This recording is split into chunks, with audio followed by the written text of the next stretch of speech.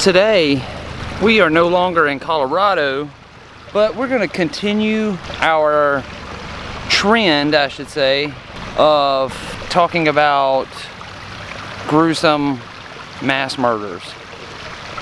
But today's story is going to come from Alabama. I am talking about the 2009 mass murder committed by Michael Kenneth McClendon in South Alabama.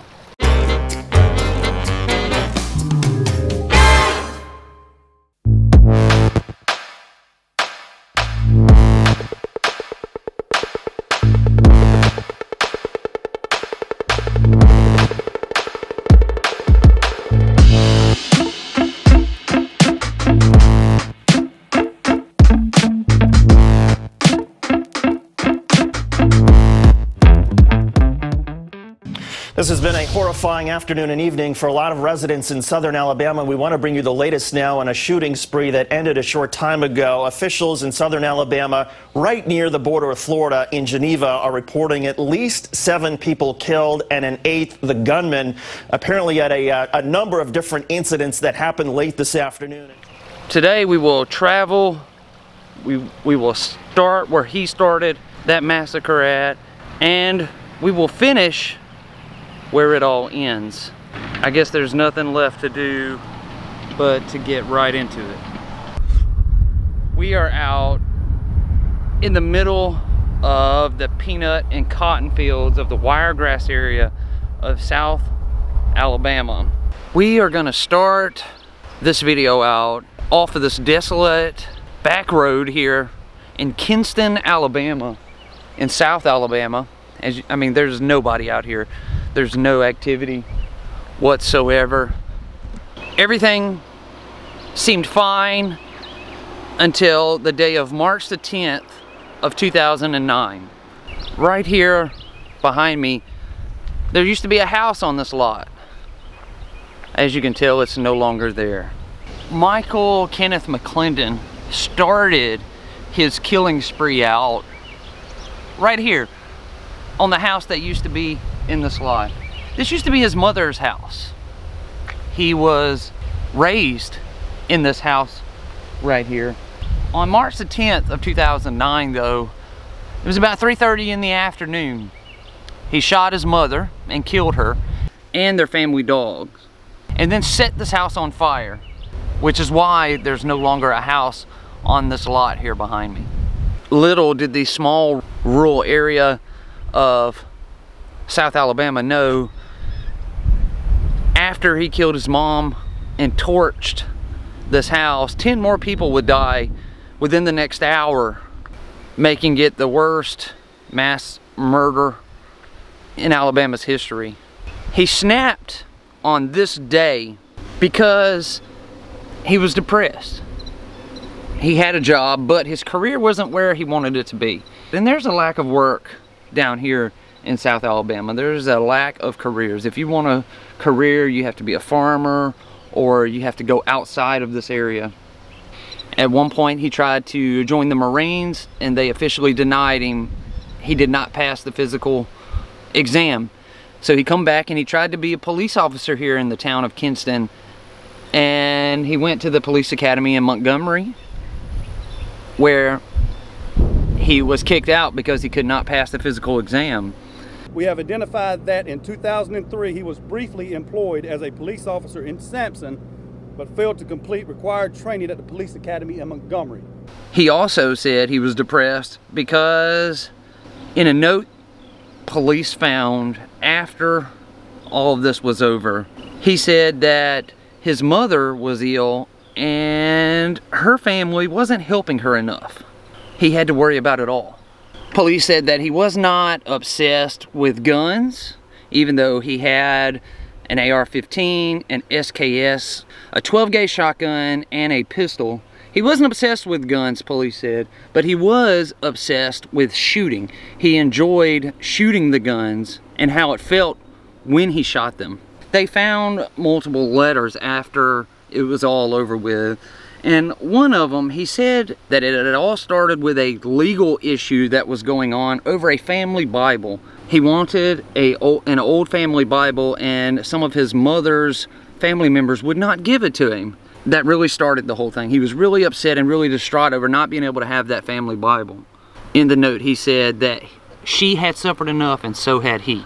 In that same note, he also stated that he had planned to do this at a later day. He wasn't planning to do it on March the 10th, but on that day, his mother had gotten suspended from her job. Only suspended. She was going to be able to go back, but she had gotten suspended from her job, and I guess that set him off. He quit his job, immediately left, and decided to shoot people in the streets while he laughed. After setting his mother's house on fire, he then proceeded and headed up the road this way towards downtown Kinston, Alabama.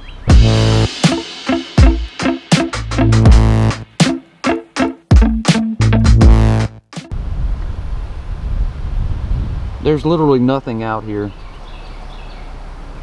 The killer then drove to this home right here. This is where he killed the majority of his victims. In fact, he killed five of his victims there. They were his uncle, two of his cousins, and a state trooper's wife and their infant child who was visiting. His aunt was also home, but she was inside of the house fixing drinks for everyone. He only killed those people who were out on the porch. He then walked across the street over to this home right here where his grandmother lived. He shot and killed her right there inside of this house. This was the home of a police officer, Scott Ayers, who his wife and infant daughter were killed. They were over visiting the McClendon house. After killing his family, he pulled out this way onto Y Street. It was here on Y Street where he shot James Sterling as he was trying to run away from the shooter.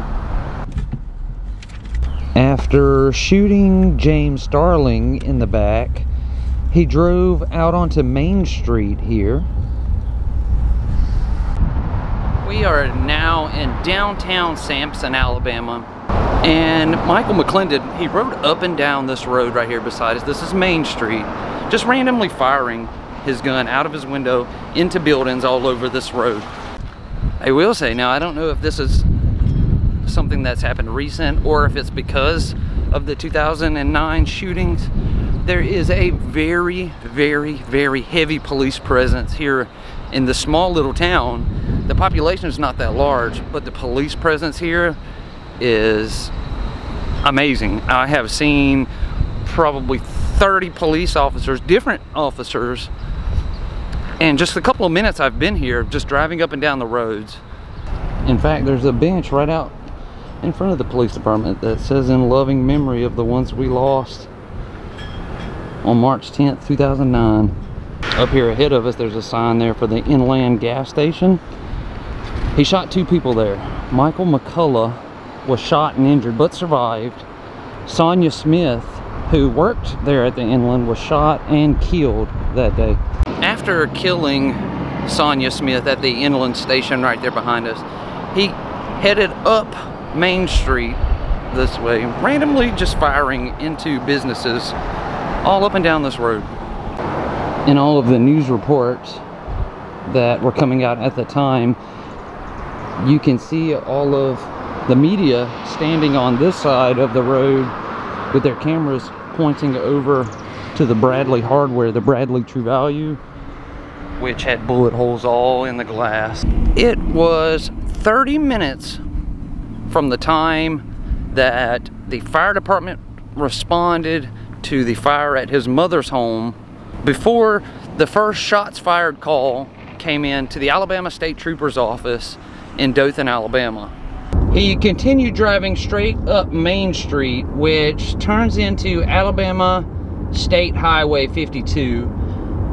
This is where the police started pursuing him, and he led them on a 24 mile police chase from downtown Samson to Geneva, Alabama. It was right here on this road where he shot and killed Bruce Malloy, and they have even erected a cross here in his memory. It was right here on Highway 52 in front of the Walmart where the police attempted to do a pit maneuver.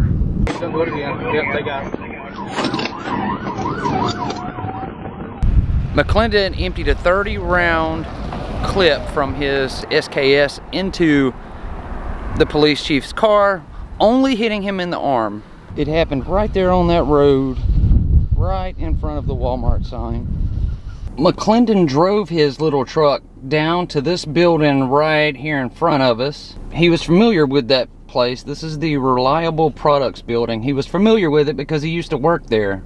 He pulled into the parking lot, went into the building where he had a gunfight with the police officers that were chasing him. A few minutes later, police hear gunshots ring out from inside of the building. They enter the building to find him laying on the inside dead from a gunshot wound. They found Michael McClendon's body inside of the Reliable Products warehouse at 417 it all began at 3.30, which means it lasted just under an hour for the entire thing. After the grisly scene there at the Reliable Products building, police went to try to piece together what happened. South Alabama had never had anything like this happen to it before at all. A radio station in Andalusia, Alabama, which is not too far from here, raised over $47,000 to pay for the burial of all 11 people, counting Michael McClendon.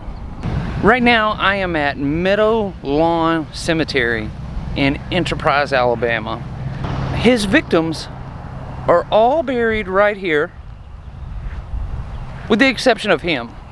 Preparing to come make this video, I was looking for his gravesite and it is not listed anywhere.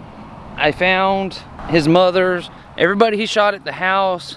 I found him here, but I can't find his. That is going to end this video on the murderous killing spree of Michael Kenneth McClendon. I want to thank you all for watching this episode,